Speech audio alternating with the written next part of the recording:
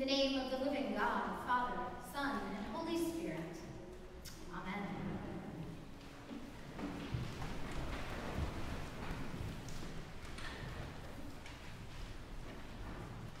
I am the eldest child of a parent whose career as a computer programmer makes my personal relationship with zeros and ones just a little bit complicated.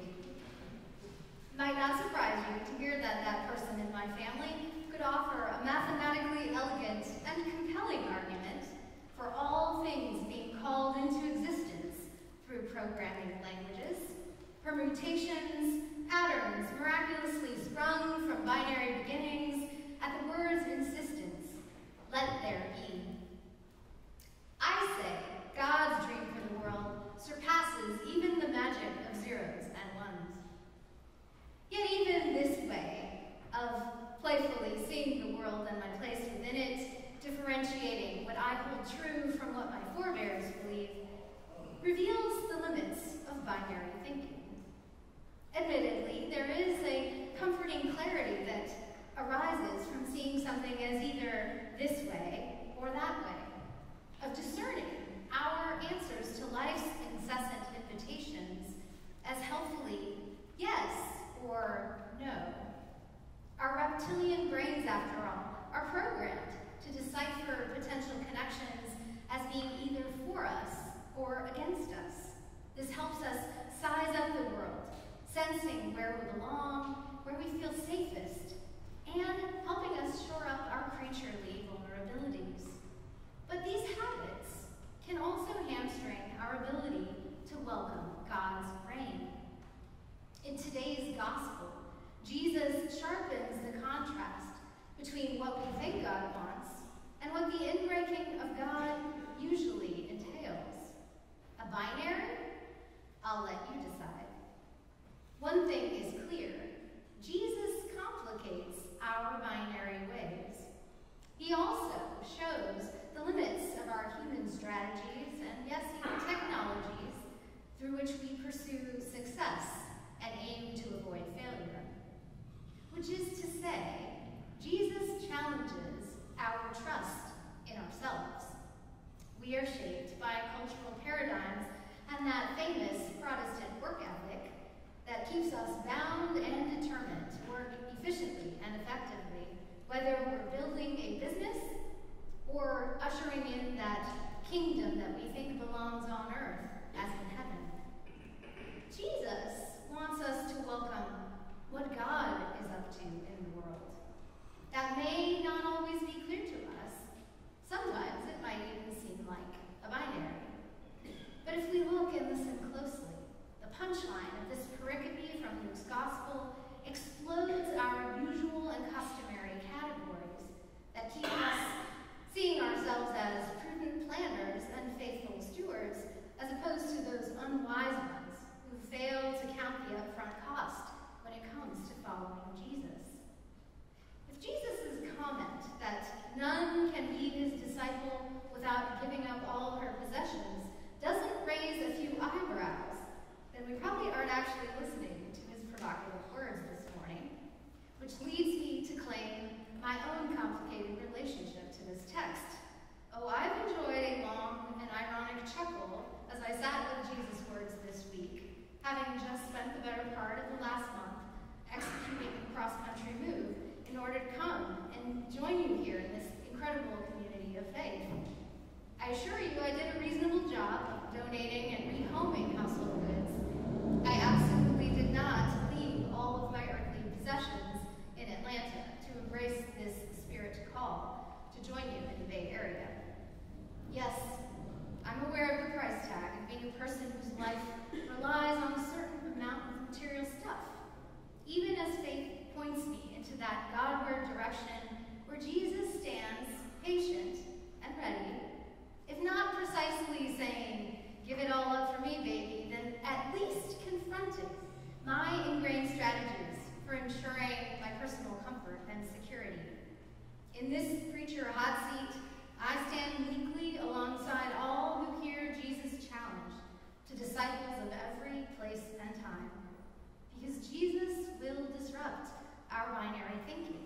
showing binaries to be inadequate containers for receiving the gift of God's reign.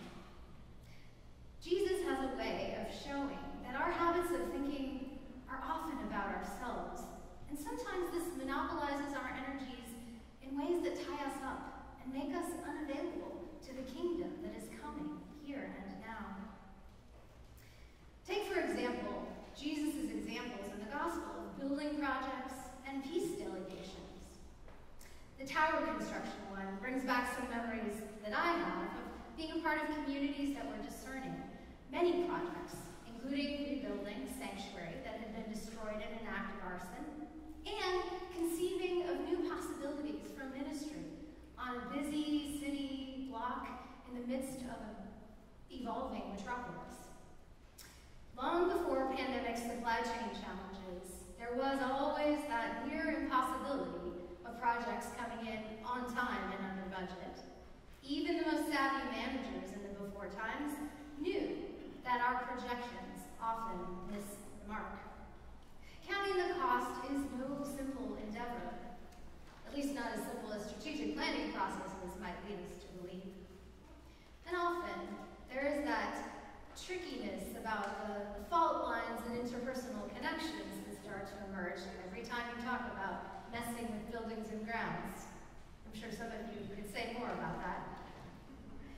Jesus is digging in to that de-escalating that's needed when it comes to peacemaking is an interesting thing for us to think about. I know there are some of us in this community that have careers in mediation, and I'm sure they could share stories aplenty about negotiations gone sideways. I have friends in lots of parts of the country that do international peace work around the world, from places like Tibet to Israel, Palestine, and they have told many stories about all the contingencies that thwart even the best laid plans for making peace. In communities, they have said again and again that the hope for the future often rests in the hands of the next generation, who seem to be a little bit more comfortable moving beyond binaries. Like many of us during pandemic lockdown, I escaped into streaming television my daily reprieve from COVID. Madam Secretary is a personal favorite. I don't know if there are any fans out here. All right, good. Well, that marvelous show, though fictional, explores every permutation of global peacemaking. In under 60-minute episodes, Secretary McCord and her creative, brilliant staff swashbuckles from even the most tricky international crises and miraculously often at the 11th hour, seemed to set the world right. Except for those rare cases when it took two episodes instead of one to pull off the impossible. These examples Jesus puts up on the board for us to consider aren't simply mental exercises. They're meant to show us the real limitations of our human technologies and strategies. We still will love our familiar logic and languages that allow us to navigate this world that is wired for connectivity, a world that seems to accelerate by the day. But even as we cling to those relationships and networks that ground us in safe space where we are seen, known, and appreciated for our gifts, we also hear Jesus' prophetic voice calling out to us, challenging our cherished habits and our preferred tendencies. You know, those ones that leave us trusting in our own devices. Not these devices. The truth remains, our human designs fall short so many times of achieving that beautiful kinship and wonderful vitality that we are made to know because of the love of our Creator.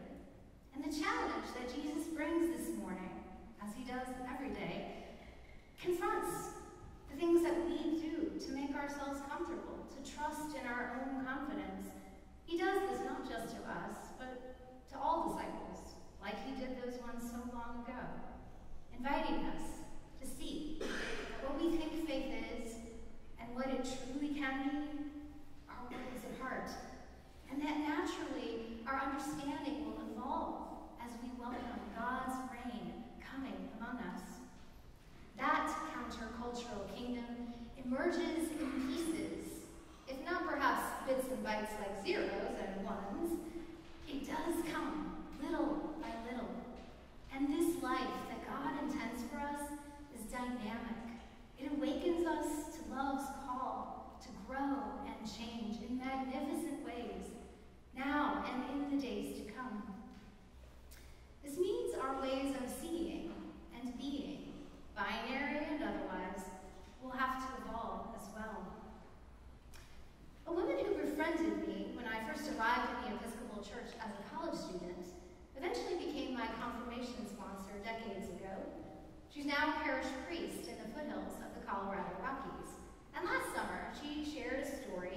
an experience she had during her first mission trip to Haiti, where the Holy Spirit revealed to her an interesting difference between the two countries.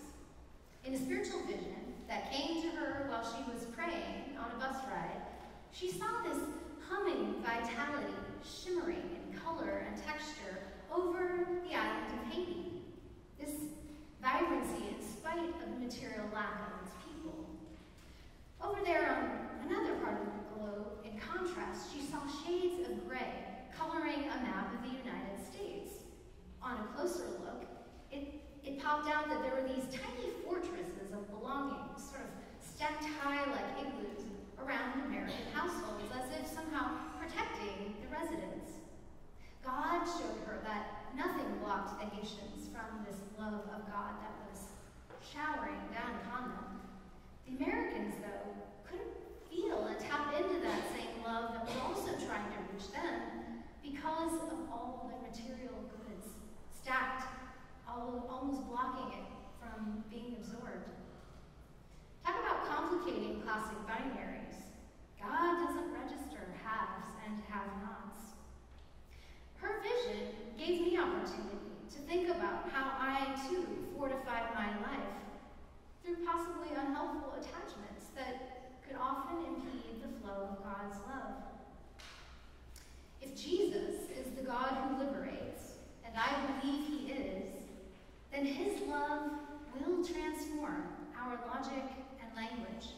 It will break open our assumptions about faith and belonging. Binaries no longer will suffice to help us understand these connections that we inhabit in a world that is sustained through our Creator's care.